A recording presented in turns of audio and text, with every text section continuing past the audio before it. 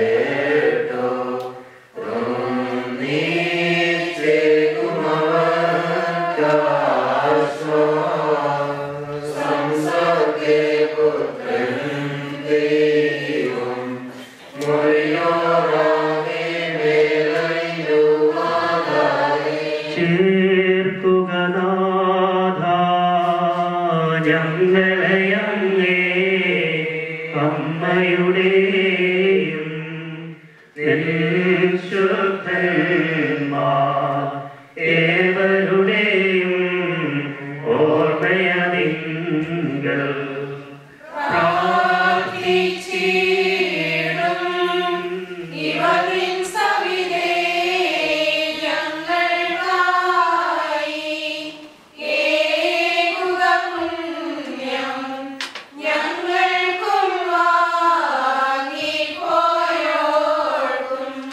Amen.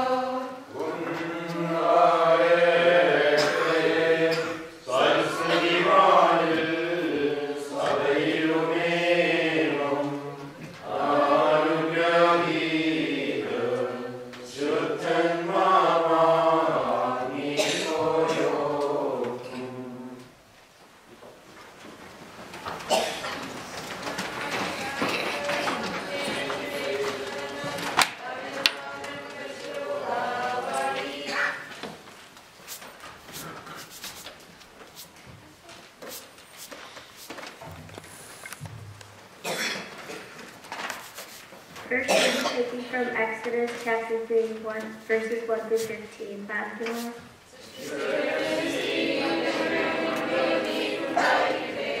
Now Moses was tending the flock of Jethro, his father-in-law, the priest of Midian, and he led the flock to the back of the desert, and came to Horeb, the mountain of God. And the angel of the Lord appeared to him in a flame of fire from the midst of a bush. So he looked, and behold, the bush was burning with fire, but the bush was not consumed. Then Moses said, I will turn aside and see the great sight, why the bush does not burn. So when the Lord saw that he turned aside to look, God called to him from the midst of the bush and said, Moses, Moses. And he said, Here I am. Then he said, Do not draw near this place. Take your sandals off your feet, for the place where you stand is holy ground. Moreover, he said, I am the God of your father, the God of Abraham, the God of Isaac, and the God of Jacob. And Moses hid his face, for he was afraid to look upon God. And the Lord said, I have surely seen the oppression of my people who are in Egypt, and have heard their cry because of their taskmasters. For I know their sorrows, so I have come down to deliver them out of the hand of the Egyptians, and to bring them up from that land to a good large land, to a land flowing with milk and honey, to the place of the Canaanites and the Hittites, and the Amorites and the Perizzites and the Hivites and the Jebusites. Now therefore, behold, the cry of the children of Israel has come to me. And I have also seen the oppression with which the Egyptians oppress them. Come now, therefore, and I will send you to Pharaoh, that you may bring my people, the children of Israel, out of Egypt. But Moses said to God, Who am I that I should go to Pharaoh and set, and that I should bring the children out of Israel out of Egypt? So he said, I will certainly be with you, and this shall be a sign to you that I have sent you. When you have brought the people out of Egypt, you shall serve God on this mountain. Then Moses said to God, Indeed, when I come to the children of Israel and say to them, The God of your fathers has sent me to you, and they say to me, What is his name? What shall I say to them? And God said to Moses, I am who I am. And he said, Thus you shall say to the children of Israel, I am has sent me to you. Moreover, God said to Moses, Thus you shall say to the children of Israel, The Lord God of your fathers, the God of Abraham, the God of Isaac, and the God of Jacob, has sent me to you. This is my name forever, and this is my memorial to all generations.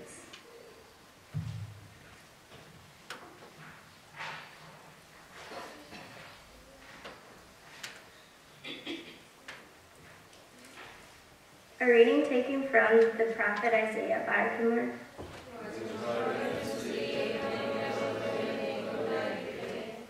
Alas, sinful nation, a people laden with iniquity, a brood of evildoers, children who are corrupters, they have forsaken the Lord, they have provoked to anger the Holy One of Israel, they have turned away backward. Why should you be stricken again? You will revolt more and more. The whole head is sick, and the whole heart faints. From the sole of the foot even to the head, there is no soundness in it.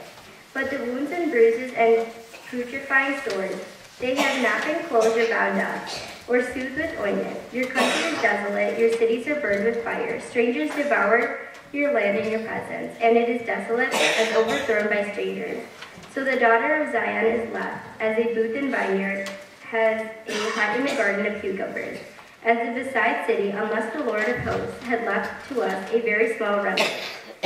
We would have been, become like Sodom. We would have been made like Gomorrah. Hear the word of the Lord, you rulers of Sodom. Give ear to the Lord of our God, you people of Gomorrah. To what purpose is the multitude of your sacrifice to me, says the Lord? I have had enough of burnt offerings of rams and the fat of fed cattle. I do not delight in the blood of bulls or the lamb of goats. When you come to appear before me, who has required this from your land? To trample my courts? Bring no more futile sacrifices. Incense is an abomination to me. The new moons, the Sabbath, and the calling of the assemblies. I cannot endure impunity and use sacred meeting. Your new moons and your appointed feasts my soul hates. They are a trouble to me. I am weary of bearing them. When you spread out of your hands, I will wide my hands from you. Even though you make many will prayers, I will not hear. Your hands are full of blood.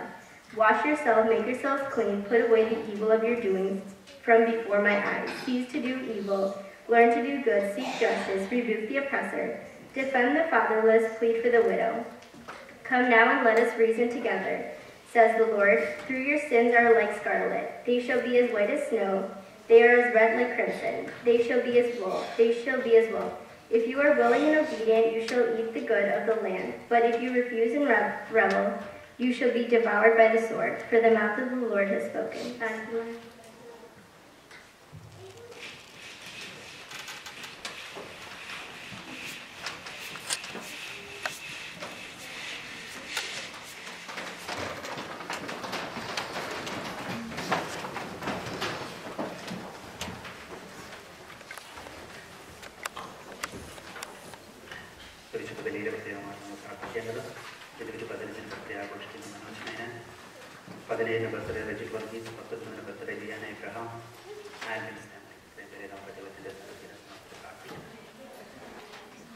സഹോദരങ്ങളെ ജീവിതമായ വിശുദ്ധ ബലി സഭയ്ക്ക് മുഴുവൻ യോഗ്യനാകേണ്ടത് എനിക്ക് വേണ്ടി പ്രാർത്ഥിക്കുകയും.